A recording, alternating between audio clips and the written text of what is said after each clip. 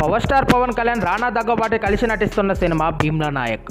సాగర్ కే చంద్ర దర్శకత్వంలో తెరకెక్కిస్తున్న ఈ సినిమాకు మాటల మాంత్రికుడు Trivikram Srinivas dialogue screenplay అందించనున్నాడు.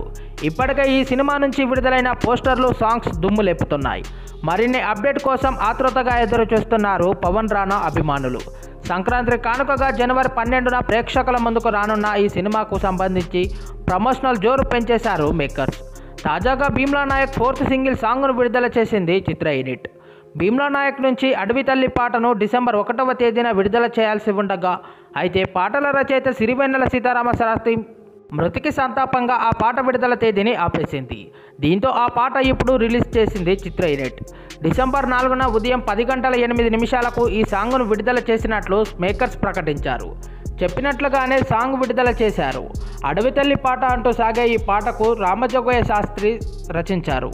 మలయాళంలో సూపర్ హిట్గా నిలిచిన అయ్యప్పనియం కోసం సినిమాకు తెలుగు రీమేక్గా భీమ్లా నాయక్ తెరకెక్కుతుంది.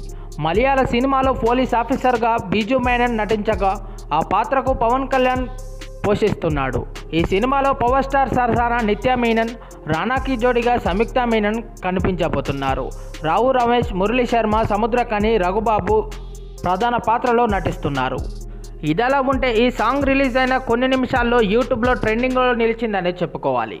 అంతేకాదు ఈ సాంగ్ని చూసిన పలువురు సినీ ప్రముఖులు స్పందిస్తున్నారు. అందులో భాగంగా మెగాస్టార్ చిరంజీవి తన ఫ్యామిలీతో ఈ సాంగ్ చూసి స్పందించారు. సాంగ్ బాగుంది. ఈ సాంగ్లో మంచి మీనింగ్ ఉంది. All the very very best team Bheemla Nayak team అంటూ పలు కామెంట్ చేశారు మెగాస్టార్ చిరంజీవి.